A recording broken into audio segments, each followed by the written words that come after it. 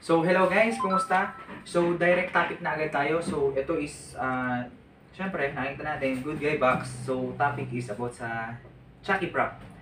So, ito is uh, Good Guy, Good Guy tuloy, Child's Play 2 movie. So, movie prop siya. So, dalawang klase ng box eh. Meron yung sa Child's Play 1. Yun yung clear. Tapos, dahil clear plastic lang siya, nakikita si Good Guy sa loob. So, gawan natin ng separate uh, separate video yung isang version ng box. So, ito guys, is ito yung version 2 na box. So, ito yung sa Child's Play 2. Bandang last part yun eh. Makikita natin siya sa last part na naghabulan si Andy tsaka si Chucky sa manufacturing area na, ah, sa production area ng ng good guy. So, bakit ba photo lang yung andito? So, kaya lang siya, kaya siya photo kasi ah sa Child's Play 2 kasi, kung gagawin nilang panay good guy dal ang nasa buong manufacture area na yon masyadong mataas yung cost nila. Kaya ginawa nilang box-box lang muna na may photo si Chucky. So, ang kagandahan dito kasi is uh, movie prop siya, tapos pwede siyang gamiting box mismo ni Good Guy Chucky. Yung life size na Chucky natin, ah saktong-sakto siya dito, fit na fit siya dito. Ah, hindi naman siya fit. Kasi ano eh, ah, box lang siya mismo, tapos wala siyang holder, kaya kailangan pa rin ng holder sa loob. Pero madali lang solusyonan yon. So, bakit ko ba ito nilalabas at ba't ba ang dami nito? Is kasi, may mga nag-PPM kasi sa akin. Kasi di ba gumagawa tayo ng dal. So, sabi niya, Sir, baka meron kang box lang.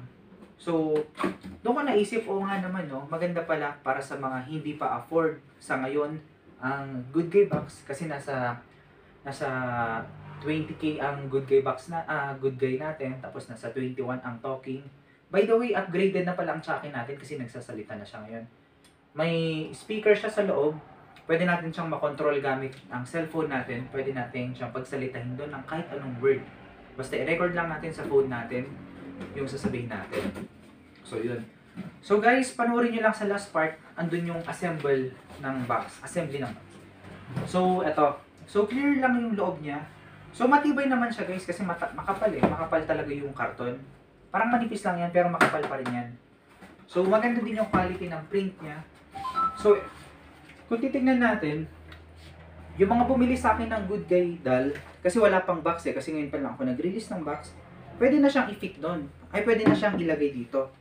So, bandang 3 to 4 kilos yung Chucky natin na life size. Ay, medyo mabigat siya. Pero, i-check natin ngayon kung kaya ba niyang buhatin. So, silyahan lang natin siya.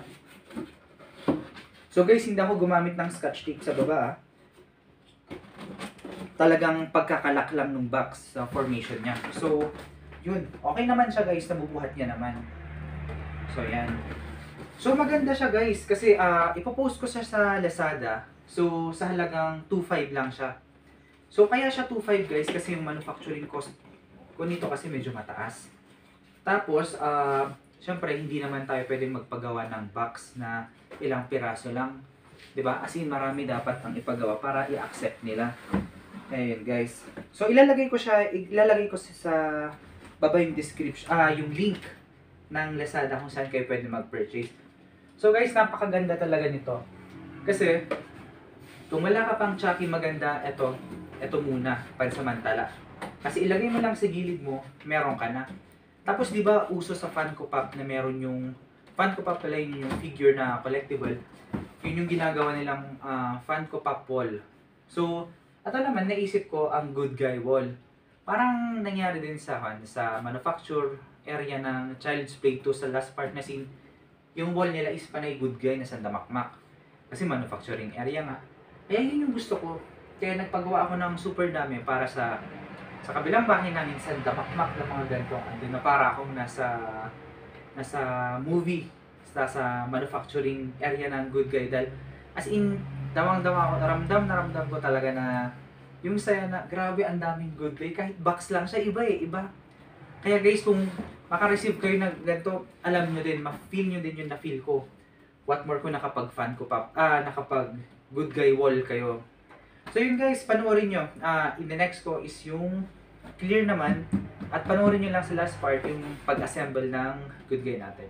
So yun lang guys. So PM-PM lang kayo at available na yung Good Guy 2 natin. Yung may eyelid na siya. At guys, remind ko lang ulit, upgraded na yung Chucky natin. Talking na siya. Hindi literal, lit, hindi siya literal na talking na gumagalaw yung bibig. Pero may voice sa loob na medyo malakas. So gagawa ko din ng separate video yun guys. So thank you. Always follow, like, subscribe. Thanks. Cool pala guys, ah dahil regular na karton lang siya, so hindi natin may iwasan na minsan na may mga foldings, gaya niyan. Ah, so minsan may mga scratches or kung ano-ano pa kasi ganun talaga siya. So parang ganyan, may mga folds sa dulo-dulo. So, so normal lang talaga yan guys kasi kung kahit sa manufacture area nung panood na good guy, talagang merong may mga dents talaga. Kasi box talaga siya, kaya hindi may iwasan. So, ang purpose naman nito, kahit may scratches ka, may dents ka, okay lang. Kasi, kung mapapanood natin yung movie, ah talagang gumuho-guho yung kan eh, gumuho yung mga boxes doon. So, okay lang yan guys. Part na rin ng, sabihin natin, part ng ah pagiging collectible niya na rin yun. So, hindi, hindi siya perfect kasi hindi naman siya tipong as in company or company made. Pero magan guarantee guys, ma- magandang maganda talaga siya.